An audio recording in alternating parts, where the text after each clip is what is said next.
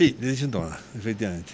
Decisión tomada, bueno, he estado, llevo muchos años, llevo, llevo, realmente en política municipal desde casi desde que nací, ¿no? porque a partir del 78 he sido concejal permanentemente en Torre Caballero, luego fui alcalde y luego candidato, candidato perpetuo a la alcaldía de Segovia. Entonces creo que debo estar, eh, tengo una experiencia realmente importante, conozco muy bien la ciudad de Segovia, conozco muy bien en la administración y creo, creo sinceramente que creo, debo participar en estas elecciones. He hecho una candidatura de juventud, gente joven, es decir, mm, rabiosamente joven.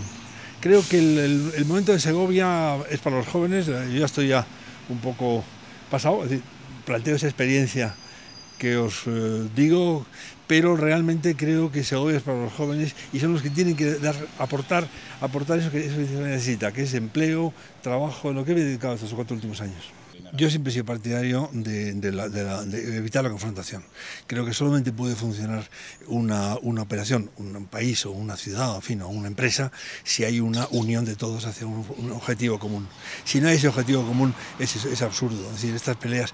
En cuanto a pactos, no lo puedo decir nada porque ni siquiera sé qué va a pasar. Es decir, es un, es un año electoral muy confuso muy confuso, se presentan un montón de candidaturas, hay una eh, tendencia antipartido, eh, hay una...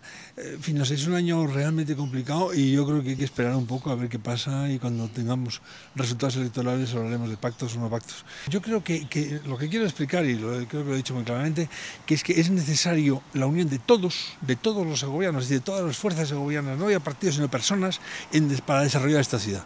Esta ciudad está perdiendo, está perdiendo población. Eso es un hecho mm, real.